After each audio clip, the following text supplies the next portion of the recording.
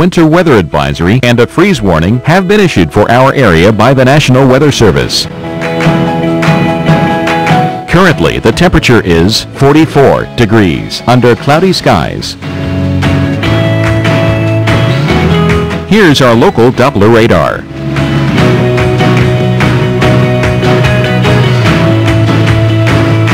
For tonight, snow showers early. Some sleet may mix in. Low 28. Winds north at 10 to 20 miles per hour. Chance of snow 30%. For Friday, cloudy. High 46. Winds north northeast at 5 to 10 miles per hour. The week ahead.